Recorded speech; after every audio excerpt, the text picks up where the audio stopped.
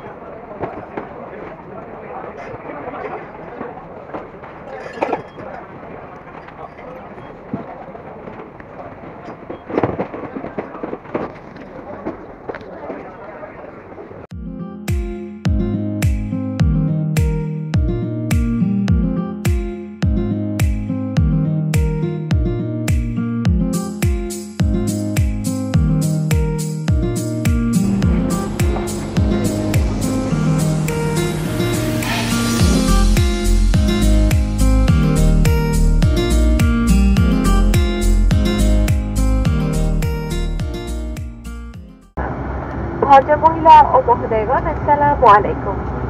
বিমান Bangladesh airlines, captain Newaz ও তার ক্রুদের পক্ষ থেকে আমি ফ্লাইট স্টুয়ার্ডেস স্নেহা চট্টগ্রাম হয়ে কক্সবাজারের পথে ডিজি এক চার তিন তিন নম্বর ফ্লাইটে সবাইকে স্বাগত জানাচ্ছি।